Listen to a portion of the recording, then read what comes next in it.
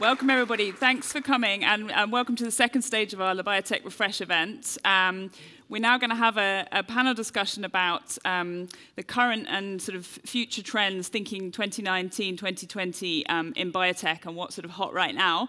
Um, I have a great panel with me here today. So I've got Alexander Belcredi from Phagomed. He uh, worked in the Boston Consulting Group and then set up uh, recognizing the problems of the antimicrobial resistance issue. He set up a company using phage to um, target this. Um, then Vanessa King here, it's from Virion Therapeutics, uh, but also um, has a VC hat on from, from Abingworth, um, and is looking at antivirals targeting flu. And then we have Erich Tauber here, who is the co-founder and CEO of, of Themis, um, looking at infectious disease vaccines, but also, um, I think, moving into the onco immune space, perhaps. um, so um, I wonder if we could, we could start off. Um, there's been some great discussion. Thank you for Werner and thank you, Philip, for that introduction. It was, it was great. Um, I think those are all really important topics, but I, I'm interested to hear a bit more about perhaps something that's, that doesn't seem to be going away is, is cancer immunotherapy. So I wonder, I mean, it, this space seems to be getting more and more crowded over time. Um, Erich, I know, as I mentioned, you're, you're, you're moving towards oncolytic vaccines. I mean, do you think there's still room for innovation in this space? Um, there's lots of uh, innovation still needed, uh, and I think that there are many reasons why many companies are moving into immuno-oncology. Like I met companies who said uh, we started off with infectious diseases because we were young and needed the money, but now we are the cancer experts, and this is not what we are doing. Uh, so we are really uh, experts in uh, vaccinology, experts in infectious diseases, but we happen to have a great vector which has a great biological activity which can kill cancer. So there's a natural reason for us to go into cancer. And uh, we believe that, uh, well, we know that uh, a virus is a great tool to bring RNA into the system, to modulate the immune system. So uh, it was not a question that uh, we woke up in the morning and said, uh, what kind of innovation field is needed, and we go into cancer like everybody else. So it was really a natural transformation of us. Okay. I mean, looking at the field more in general, I mean, I don't know. Um, it seems like it's quite full. I don't know what you have. Yeah, I was, I was going to ask uh, Erich what you've encountered when, again, you go out and start telling that story, because uh, with my Abingworth venture partner hat on, certainly we see companies with lots of very interesting approaches and at the same time, because the field is so crowded now, the pipeline is, you know, so many things are moving through the pipeline, it becomes very difficult for us to handicap just how competitive the particular new modality is going to be when it finally makes its way to the clinic, because there's so many mm. other solutions moving already ahead of it. Yeah, I mean, even, I mean, I hear now that a lot of people are moving almost taking immunotherapy into the autoimmune space. Um, so people who've like started off doing the cancer side of things, so looking at kind of uh, CAR T cells or, t, uh, you know, T, T-regs for that. Well, especially with, with other developments kind of orthogonally in, in the immunological space where folks are realizing, you know, just the breadth of diseases that uh, should be tractable that way. Mm, okay. Um, so, I mean, what about, I mean, I was hearing yesterday that uh, bispecific antibodies are now coming into their own, and, and that actually someone was making the argument that um, because the, the, you know, things like CAR T are so expensive now, and um, that that's, you know, there's this pricing issue, but actually these, you know, bispecific, there's a space for them as well, and actually they, um, you know, they're cheaper to manufacture, sort of easier. I mean, what, what do you think about that? You know, I don't I'd turn it over to one of my colleagues here. I don't have that much perspective on bispecific. I've encountered trispecific. But, uh. yeah. I don't know if you have any comments on that or. All I can tell you is a friend of mine who has started his company nine years ago together with my com- as I started the company sold his company for bispecific antibodies a long time ago and uh, is doing altruistic things now. Ah, okay. So, uh, so, so wish him good luck on the royalty stream that comes. so I mean, moving more into the sort of cell therapy side of things, of course, that's getting a lot of attention at the moment with the, the two CAR T cell therapies being approved last year, um, and also in other areas. I mean, do you, but do you think it's really ready for the big time yet? I mean, is this something we're going to see um, more of in 2019, 2020? Um, let me start by answering that one and then kick it over okay, as well. Sure. I mean, from uh, certainly uh, what I'm seeing is a lot more deal flow in the cell therapy space and not necessarily all oncology even. Um, we at Abingworth view cell and gene therapy actually not similarly, because clearly they're very different beasts, but at the same time, as you were just alluding to, you know, you're delivering into cells, maybe you're mod mod mod uh, modulating or somehow changing those cells. The risks we see when it comes to actually developing it are fairly similar. So mm -hmm. yeah, we're seeing a huge amount of that, but also a lot of the technologies and platforms it needs uh, you are going to need to make those opportunities real. Um, so companies like Magenta and others um, in the States, I think are really working, okay, what is it going to take to make it so that these are successful in patients around the, all of the conditioning and other aspects there? Mm. Did you have any thoughts on that? Maybe just, um, I'm in the antibiotic space, so it's very different, and I'm, sure. I'm, also not sort of a scientist from background, but maybe one observation from attending a lot of biotech conferences, I think there's an enormous breadth of technologies out there in terms of new oncological technologies, and some of them we've talked about. What I find always astonishing is the expectation to get an extremely high price point for them, mm. plus the very high development costs to actually get to something which you've taken through all the phases, and then maybe a market that is actually quite segmented in where you go to. Mm. So I think just from an outside, it would seem that there are probably some technologies there which are really worth the scientific bet to, to take them all the way. But I would also expect that we have so many different ones now that probably one or two will be the winners along the way, and some others are maybe not that good business cases to take. That's just. Do you think that's more of a, a sort of a long-term thing? So not perhaps something we're going to see in, in the next year or so, but perhaps more in the next sort of five years, perhaps. I think it's an open question to the guys who are right. more familiar with that. Yeah, is, is how do we distinguish yeah. from between all those great technologies that are out there to the ones which maybe can justify a high price point and the others which right. maybe are I wonder. I mean, because we, we certainly, I certainly have a lot of conversation with friends and family, friends and family in the industry about what role payers are going to play for each different types of modality in the future. Um, it strikes me that the posture we have to take, because that's an what is it, a known unknown, is look at all the, is that that will be for the companies themselves to shape and the development strategies themselves. Yes, there may be more pressure, but there still will be highly, you know, recompensed, I have to hope, therapeutics out there, otherwise therapeutic innovation is gonna stop. And so I have to think that, you know, I used to, I came actually into therapeutics from the tools space, and there I just remember the numerous examples of, you know, people had the most brilliant technology, but had a crappy communicate, you know, had a crappy uh, development plan and then commercialization strategy, and those beautiful technologies that you really wanted to use in your R&D lab, you never got to see really industrialized. Whereas people had like Affymetrix arrays, which had huge amounts of limitations, and yet they had a great marketing engine behind it and they were successful in the marketplace. So I wonder if it's going to be a similar thing where it really is for the development teams of these new modalities themselves to prove their utility to design the clinical studies accordingly. Mm know, did you have any thoughts on that, Erich? I think prices and developing cycles are maybe one of the most difficult things to overcome. Uh, when uh, we look into modern therapy, we still follow the classical uh, approval timelines of, I don't know, 15 years, uh, 50 years for dengue vaccine mm. or something like this. And uh, still when I talk to strategic investors, uh, VC firms, the question which comes first is how do you do? How do you think about reimbursement? Which doesn't make sense uh, when you mm. look uh, for in a, into 20 years uh, development cycle. So I, I, believe transformation will also come here into the understanding, but I don't know if we are young enough to see. so yeah, I mean, it's. Um, I guess they need to sort of sort. So I mean, that's maybe something we'll see in the next couple of years is that the uh, regulatory authorities are actually going to have to really take on board these new therapies and really make some changes. So mm. on the way they on they regulate things and actually um, both in the cell and the gene therapy space, I think. And, and, the question is going to be, you know, what provides the incentive to them to do that? Because, mm. because at least uh, in our interactions with the regulatory agencies, you have highly dedicated teams of people who clearly want to, excel, you know, get new drugs to patients and protect the, the, you know, the population.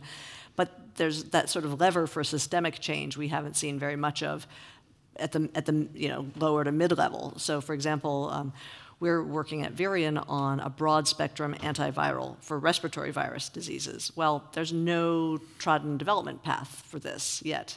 for single you know, viral diseases there are. And so we've, you know, we're two years still plus from the clinic, but we're already having a discussion uh, with the appropriate folks. On the other hand, sorry, with the folks at the regulatory agencies. On the other hand, it's not always the appropriate folks that you yeah. can get in the room, and we're kind of now in this interesting political moment of, you know, okay, these people, you know, took our project on and gave us our, our pre-IND meeting. Okay, but these other people need to be in the room. How do you tell the folks there, you know, who needs to be in the room? Well, gently, obviously. But yeah. anyways, but so I think that this innovation in the regulatory piece is going to continue to be something that will impact all of our lives. But I wish I knew how to to help incentivize it. Mm, okay. Um, so, I mean, so maybe moving on a bit. So, I mean, I think gene therapy is another another sort of hot area, and I mean, since the approval of Luxturna in both the Europe and the US last year, um, I think there seems to be a lot more people working in the gene therapy space. I mean, what do you think we should look out for in, in 2020? Any exciting things on the horizon, do you think? I mean, I'll start with an area that's near and dear to my heart, and then, and again, uh, would love to hear Erich and Alexander. The um, uh, gene therapy in the brain, I think, is an mm. interesting area that I've been hearing more and more about. I guess there have been a few high-profile cases um, which, where this has been done experimentally and not in a drug discovery setting, uh, in very severe in patients with very severe phenotypes, so it was acceptable to IRBs. And I think uh, that, for me, um, especially given how especially as with last week's you know, failure of the mm. Alzheimer's drug from Biogen, um, we see that we really need different approaches, transformative approaches, as Werner said, in neuroscience. So for me, gene therapy in the brain is an area I'm very interested in and seeing more in. But what about you guys? I think maybe just picking up on one point that Werner raised, I think the question of maybe not so much the direct gene therapy, but understanding the genome and how we can use that information to make better disease choices, better treatment choices. I think that's extremely interesting as well. And I think that can shape, again, why do certain people get certain diseases? Why do they persist in some people, whereas in others they're, they're cleared? If we can use that to be more targeted, I think that can be helpful. It's maybe a bit beyond the, the pure gene therapy. How about you, Erich? I would expect gene therapy to really, for the next, well, for the near term, uh, focus or, or have the, the priority for neglected diseases, orphan diseases, also due to the fact that uh, regulatory agencies or regulatory trends will be slower than we might wish. Mm. But uh, also sometimes gene therapy has effects which are difficult to predict. Yeah. And uh, I would expect uh, that uh, people and especially society will be extremely careful? Well, I mean, of course, there's, um, they've now treated the first patients in the first CRISPR yes. study, CRISPR therapeutics. So, I mean, that's something I'm, I'm personally looking forward to. I want to, to see how that, how that goes and mm -hmm. see mm-hmm. whether, um, whether that's successful. I guess that's something we can only wait and see. But um, uh, could I add one thing, sorry, yeah, before yeah, we leave uh, yeah. the gene therapy field? I, just one thing I think it's important for all of us who really want to drive innovation in these areas to also consider is the, the full, in a way, innovation system that any particular type of therapy is going to need. The reason I bring it up in this case is that um, I think it was just in the last 24 hours that I think was it that one of the large companies was it Thermo Fisher brought yes. a gene synthesis yes, I think you're right. company, yes. for, group of former Genzyme folks who were doing in a way the manufacturing side of gene cell and gene therapy. Mm. And the reason I wanted to flag it is that I think that for us as venture folks or for me as a small company CEO thinking of scaling up a novel modality, actually access to those sort to the CMC and that manufacturing mm. can be a tremendously gating factor. And so we, for example example, in our company, we're looking just to, to generate some plasmids at a certain high um, you know, fidelity and with high QC. Well, for the folks who are generating those for real gene therapy um, companies, the big ones, the slots are booked out. It's literally millions of dollars just to get, you know, for us, what is a first step along many. And we're not the only company that, that face this. And then where do you find a high quality alternative? So, really, the things beyond the, the bi biological innovation, but the systemic, again, innovation. Um, are again, I, I, don't. I think those are great business opportunities for folks uh, that are you know, in, related to what we all do and enabling to it, mm. but can also stand in the way of course, yeah. I mean, I think um, in also in, in 2018, um, another approval we saw was the, the first ever RNA interference drug um, and, and, also obviously the, the historic IPO of Moderna in, um, towards the end of the year. I mean, do you think 2019, 2020 is the, I mean, 2019 the year of RNA therapeutics? I mean, I guess Hey, I run an RNA biased. therapeutics company, so I have to say that. what are you guys seeing in the marketplace? I mean, what we're doing is uh, we use a viral system which uh, brings RNA into the immune system. Mm. So uh, we're a bit jealous to see mRNA companies uh, uh, worth a billion dollars. Uh, yeah.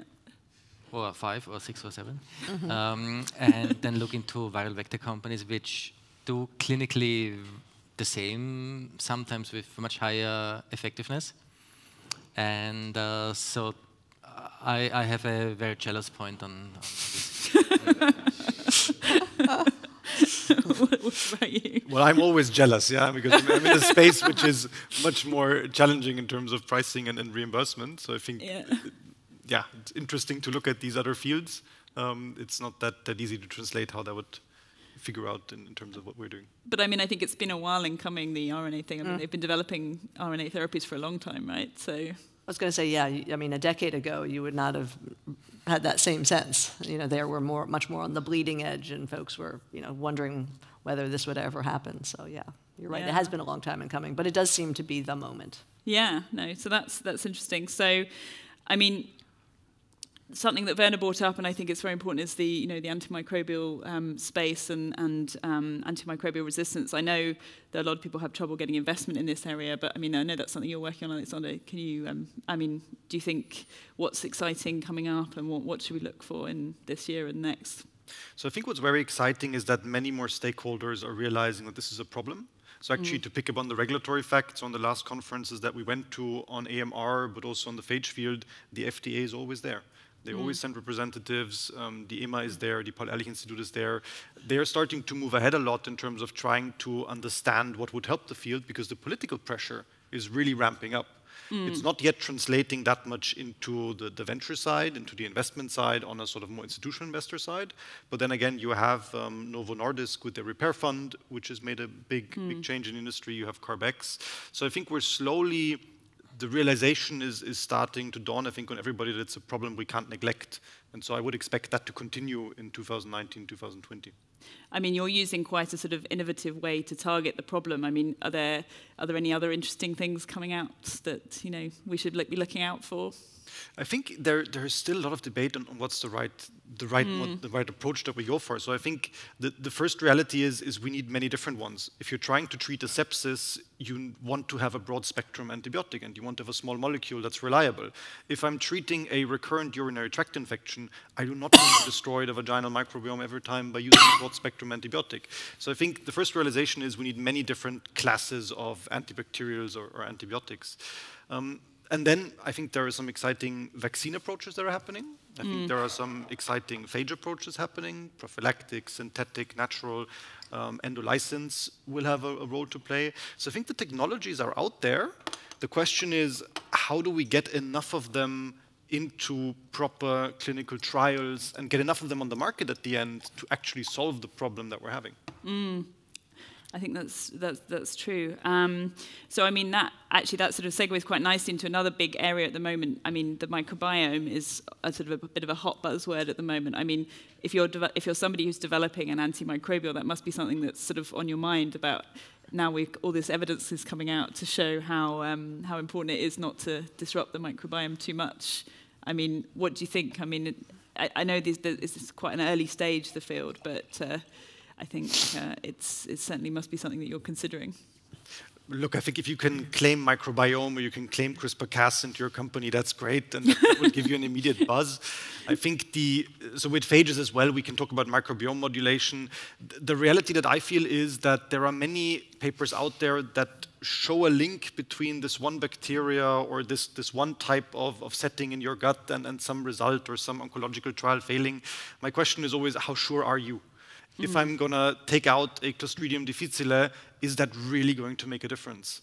And how much am I willing to bet on that as, mm. a, as a young company, especially? Yeah, so I think the microbiome field still has a lot of, of space to go before it's fully understood yeah. into what links into what, because we're not just dealing with a single one, one thing that has an effect here. We're having something that's extremely complex, which we probably understand, I don't know, 10, 15% right. of it at the moment. Mm. That point of scale, and when you said me as a small company and would I consider it, was uh, reinforced to me earlier today. I was chatting with a friend um, in a big pharma company, and I was like, yeah, so let's talk about the whole microbiome thing, because I knew it was a particular interest of his. And he was, it was very, you know, big pharma answer, but highly informative, which was, you know, yeah, we're, you know, we're very interested in the area not at all convinced that any of the approaches out there currently are going to lead to drugs, but monitoring that, monitoring it with high interest. so it's like they're letting somebody else, you know, kind of lead the way. But interestingly, you know, saying we really want to understand the systems here. To your point about having one data point or two data points and like really understanding the whole picture, we've got a group of 50, literally, we've got a group of 50 to 60 people working on this. I was like, gulp, you know, just having been in big pharma, you know, group. Yeah. No, okay, it's probably a portion of their time, but still, that's a really substantial and lots of you know tools and technologies that they're bringing in so that they do understand the whole picture when it's time to move in this area. Yeah, well, there was. Um, only a, a, week or so ago, this did you see the investment of SNIPR Biome? So mm-hmm. the, that's like combining the CRISPR and Great name for a company. well, and 50 million yeah. uh, euros. It's an amazing Series A. Yeah. yeah. So combined. I think, and I think the the principle there was um, they're looking to use CRISPR to target bad bacteria or, um, from the microbiome. So I don't know. I Which mean, is a phage approach, by the way. Yeah. Maybe they can work immuno-oncology in there too, and yeah. then uh, they can, exactly. they're all the perfect. I mean, they're very early stage, and they got a lot of money in their Series A. I mean, what, what? I mean, do you think they have? It's likely to be effective, or I mean, I'd be interested to hear what your views are on that depends on the team, and I don't know the team very well. But I mean, because mm-hmm. you know, you can have the best. I, I, my philosophy: you can have the best technology and the and a crappy team, or a crappy team with the best tech. You know what I mean? And uh, the, a great team will make uh, make something of almost anything. They'll find the opportunity there. Scaling. I mean, the challenge with some large Series A can be scaling the company. How do you really hire fast enough and you know manage science and innovation? Um, in, a, uh, in a rapid way. I mean, there's lot, there are pros who do it. There's companies like Denali in the, in the U.S. Um, and, uh, and others who, you know, with large slugs of cash, move forward rapidly. I haven't seen many of the outputs of that yet, but I think uh, I wish them all the best. But I don't know if you guys have more of a perspective on the specifics of SNIPR. No. Yeah. I mean, I do have a perspective because they're using phages as well. Yeah, so I think it's just a field that that requires a lot of good science. Yeah? And yeah. I think using a CRISPR vector to shoot out, uh, if they're targeting a bacteria, the bacteria and activate sort of a self-destruction mechanism, it can work. Will it be more advantageous than using a self-replicating natural phage? I don't know. Mm. Will you have some of the same challenges in terms of you need to first infect the cell, so you need the receptor? You can have resistance against the receptor. You can have different receptors on different bacteria of the same species. So I think it's, it's not a, a clear-cut answer. Yeah, and um, the same with, with Locus, which is the, the US variant of that same mm. company. Mm -hmm. So I think, again, I think that using phages is great. Yeah, and I think we need to understand in which disease indications are we using it and whether the synthetic one works better than the natural one, we'll see.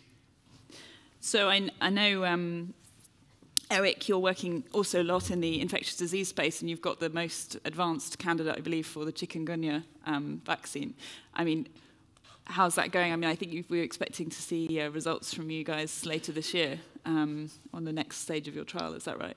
Uh, we have we have completed and published the phase two, but we are starting the phase three now. Mm -hmm. And uh, what's uh, quite interesting is that uh, chikungunya is uh, maybe similar to some of the other infectious disease fields, quite some overlooked threat. Mm. And what we have seen now is uh, outbreaks with uh, millions of people in the Caribbean, uh, like people went to the honeymoon and came back in the wheelchair. Mm. Mm. And so this really put, put more more flesh uh, to the disease than it uh, used to have.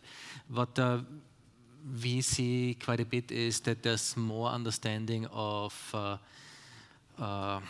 of global health uh, issues now uh, to the finance world, but uh, this is strongly supported by organizations like the Gates family of funding mechanisms, let's call it like this. Like uh, we have an uh, impact investor who's part of our company. We have uh, strong ties with CEPI, which is an alliance to prevent outbreak diseases, uh, which, for instance, uh, the world was not willing uh, to pay for Ebola vaccine until recently. Well, that, yes, and I mean that's the point. Yeah. So, so their their aim now is really to make vaccines before the outbreak is there. And this is quite helpful also for companies like us because it uh, helps us uh, to lobby uh, for a financial return mm -hmm. to mm-hmm. investors for something like this. And I believe companies like ours were quite successful by leveraging private investment with non-dilutive funding and went quite a, quite a way and hopeful still a long way. Mm. I mean, it's true that uh, certainly there, there, doesn't seem to be much urgency about these things until there's a massive outbreak like uh, Ebola or Zika or something, and then suddenly everyone's like, where's the vaccine? mm-hmm. We've got to develop it now. So, yes, I think it's uh, obviously very important there. Um, so, um, I wonder, Vanessa, if I could ask you a bit about um, what upcoming trends you think there might be more in the investment side of things? Because I think see how things have, sure. have changed or what, what's new um, this year and next. Um, yeah. I think um, so. In terms of the technological trends, uh, uh, we've covered the waterfront, I think, pretty effectively in uh, the conversation so far.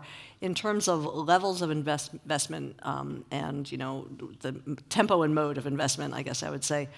Um, what we're seeing, we're kind of at an interesting moment right now because you know we were kind of at that point in late 2018 and, and early part of this year where at least in the U.S., you know, Series A's have gone up and up and up in size, and U.S. company valuations, private company valuations, in our experience, the quality ones again have been rising pretty rapidly. Um, so one trend that I've certainly been seeing is more American venture folks becoming part of European syndicates uh, really with a recognition that I think the density, you know, fewer dollars chasing every good opportunity here on the continent or in the UK.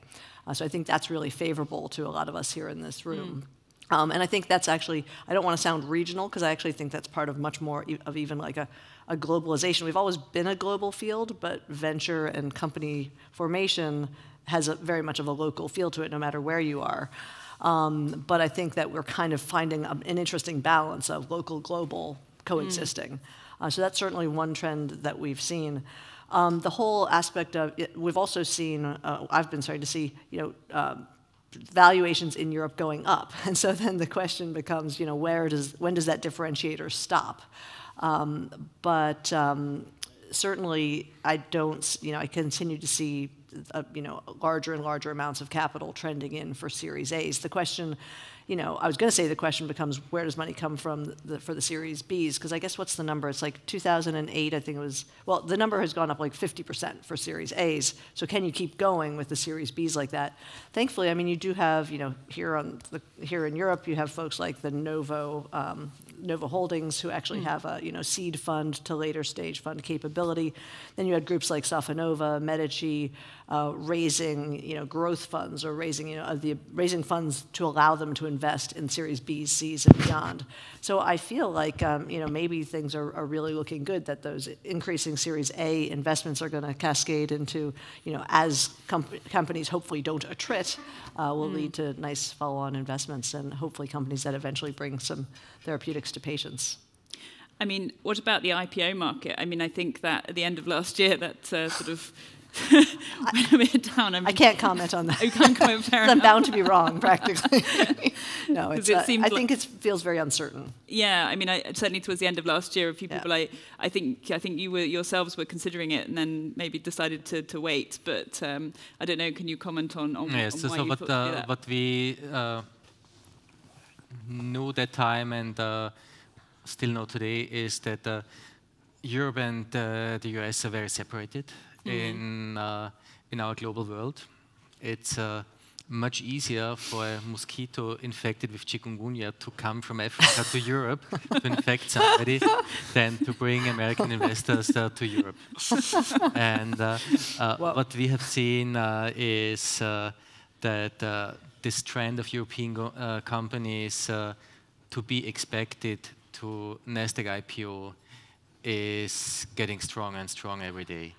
And uh, it's very nice to see the European stock exchanges fighting for young biotech companies to IPO in Europe, but I think this will be a fight they will lose. Uh, I would, I would definitely echo that. I think if there's one thing you can say about the IPO market is that it's a lot hotter in the states than here, yeah. um, and that even if there's uncertainty, that folks feel that there's still appetite for for biotech investments, and that um, as you think even for a European biotech of why you choose in one place or the other, the, the capital market sophistication, meaning willingness to invest in follow-on rounds of publicly traded companies, is vastly different in the mm. states versus here. So it may be a, you know, if you choose to list here, it may be a good near, feel like a good near-term decision. But what's going to happen when you're out raising additional capital? What about more on the sort of exit side? Do you think there's much we can look forward to for that coming up? I think M&A will continue to be pretty, from what I've seen, pretty hearty yeah, market. okay. Not mentioning any particular examples. One thing that I found interesting is that from sort of our investor side, I think everybody's feeling there's a bit of volatility at the moment. Nobody really knows how the year is going to turn out. Is yeah. everything going to be fine at the end? Are we entering a downturn? So we've actually received comments from our investors saying, why don't you fundraise now again? Yeah, I mean, do you want more money? We're happy to give it to you now because I'm, I'm, not sure what your setting will be like, not ours as a company, but sort of the entire financing world setting will be like in a year or 18 months from now. Um, so I think there's a general feeling that we just don't know. Are we at the end of a cycle? Are we still good for a yeah. couple more years? It's an interesting volatility that, uh, that seems to be mm -hmm. out mm-hmm. there. Interesting. Okay, I think this is a good point. If I don't know if anyone in the audience has any questions or wants to sort of join in and um, mention any trends that you think you might have seen or have any questions for any of the speakers?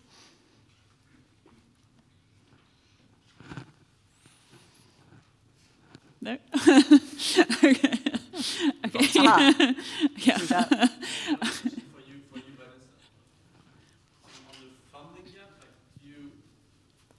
echoing to, to what Werner said on, on the funding gap, mm -hmm. like, but more like on a short term, do you do you agree that it's still big, or do you what, what do you see like on the funding gap?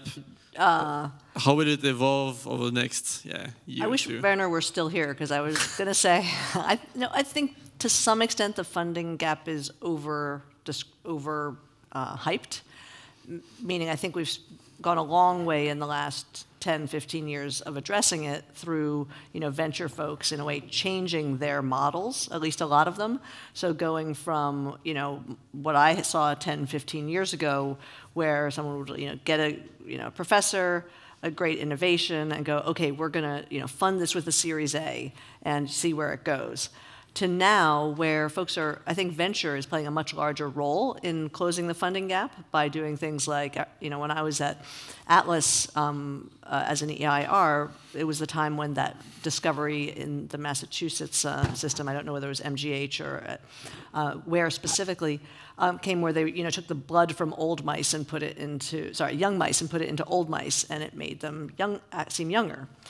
And so um, Atlas literally founded a seed company around that called Aceligen, which no longer exists, and went to reproduce the data, um, which is part of that funding gap, I think, which is going, okay, what of the scientific innovation in the labs is really ready for prime time. Now, since then, so basically they did the, ran the put a few hundred thousand dollars, ran the experiment. That company was then, you know, didn't go on and, and really have life, but at least we knew that where the science was at that moment wasn't sufficient to found a company around. Now that's, you know, there, you know, more research funding has continued to go into that area, and I believe it's continued to evolve in the last few years.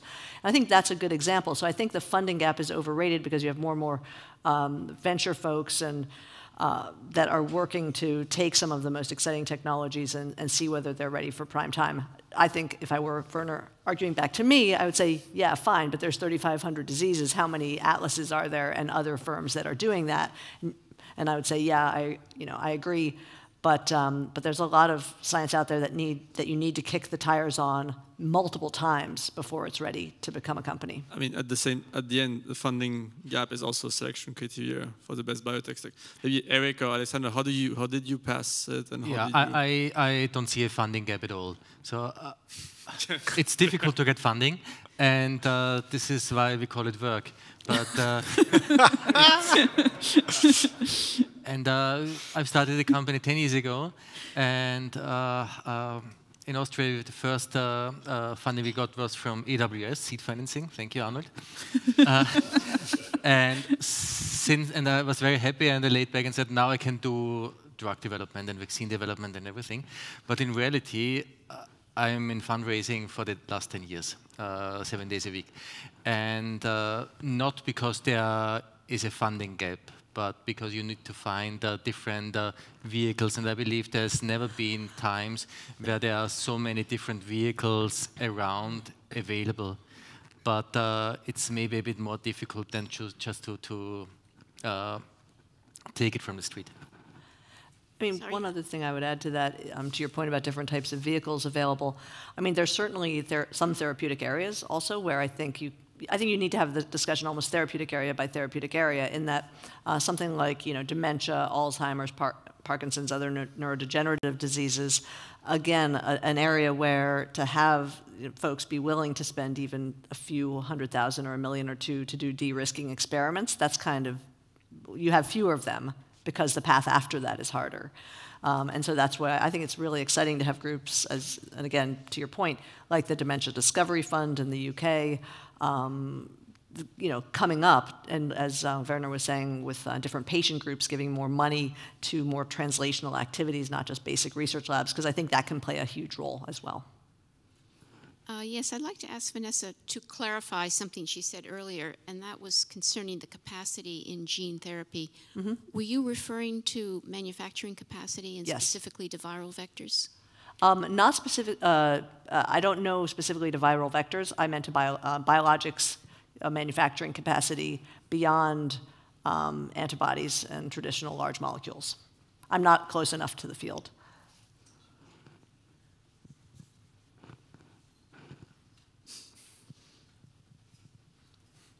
It's on. Okay. Yes. Hi, I'm Peter. Um, so there's a there's an issue I, I discovered which is disturbing. European biotech, uh, ten years ahead. We're looking at entrepreneurs, and I was at an event this week where students and professors met companies, and I asked the professor and said, "How do you manage to get talent, local talent, to start companies?" And he said, "I send them abroad." And I thought that was a strange response because, you know, you should really try and found the company or set up a company in your own country, which you're in, or in this country. No, he says, I send them to the US. And I said, do they come back? And he couldn't reply. So uh, the question to the panel is, um, what are we going to do about European talent, talent? What can we do, not just to keep it here, but to bring entrepreneurs and financiers and get the people to encourage startups and get people to encourage financing young people to start companies? Good question. I'm not sure we, we can fully answer that. Yeah, I think the I think the best thing is always role models. Yeah, I think in the US you have a lot of role models. You have a lot of people that you can probably find and Google and see what they've been doing. In Europe, I'm not sure how many of those who could be role models talk about it, or whether they are just not very visible, very active. I certainly know great Austrian entrepreneurs who would never put their face into a, a newspaper and who are then not visible. Nobody knows that they sold an automation company for two billion um, euros yeah, because they just did it, and, and, there's maybe a very small press article. So I mean, I think if in Europe we can, in the biotech scene, find good companies and uh, um, then they can become role models, then that should help again showing others that it's possible. Mm. I think Vienna is a nice um, uh, example for role models and uh, uh, like I have uh, started uh, in the biotech industry, I don't know when was this, uh, 17, 18 years ago, together with Werner. and Intercell was one of the stars of the industry then. And had good and bad times. And many of the people who were at Intercell 20 years ago started their own companies. So I believe they're, they're a nice example of role, of role models also in Europe, also in Vienna. And uh, what we also have in Austria is a very nice infrastructure to start or to help entrepreneurs in the beginning. But, but I think I believe uh, role models and uh, infrastructure are quite important. But you also highlight, um, so I would say it's going to continue to be slow because your example highlights that this is, you know, a decades-long mentorship or at least a five to seven-year-long mentorship. Um, so that says, you know, automatically we're not going to you know, flip a switch and suddenly have a ton, but we need to be very deliberate about mechanisms like you're describing. I actually think Um, but I'm biased here as a transplant from Boston back to actually Switzerland uh, two years ago. But that when I made that move, actually so many folks who'd gone from Europe to the US to be in part of the pharma industry or, bio, or biotech industry 5, 10, 15, 20 years ago, we're like, oh, you're so lucky. You're going back to like this place because it's perceived as, you know, better lifestyle. You know, things are so close. It's beautiful history. You know, like, so people are kind of like, wow, that's cool that there's a biotech industry to go back to there. So I think that that sort of almost expats returning. No, but you know, sorry. I'm just yeah. telling you what I hear. Um, no, but, the, but what also spurred it for me is um, I spent a lot of time actually commuting up to Iceland. Um, back between like 2010 to 2012. And there, very interestingly, they send all of their medical students and a lot of their PhD students to either other places in Europe or to the States. And they all go back because the pull of home, or not all, sorry, a very large number of them go back because the pull of home is so strong. And that makes a very vibrant ecosystem. So I think um, there's a lot, there, there is some potential there as well. Okay. Perhaps uh, one more question. Anybody else? Okay, if we don't have any more questions, then I'd like to, uh, to finish by um, asking each of you um, what you sort of hope to see in European biotech by 2020, if you could pick one thing. Sorry, it's a bit broad, but uh, uh. sky's the limit.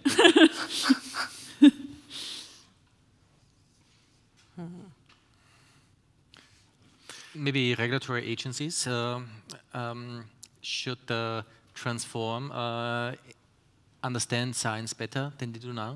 Mm -hmm. That's okay, my wish. Good answer. Anyone else?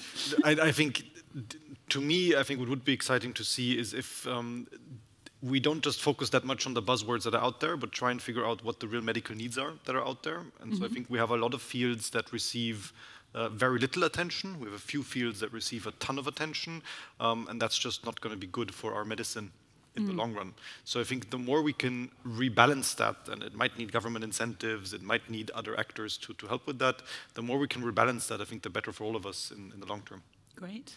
And where you're kind of the anti-hype answer, I'm going to go for the hype answer. I was going to say like three or four more Ablynx I think would do wonders for the industry. Great. Okay, thank you very much. Thank you thank for coming you. today. You. That was a great discussion.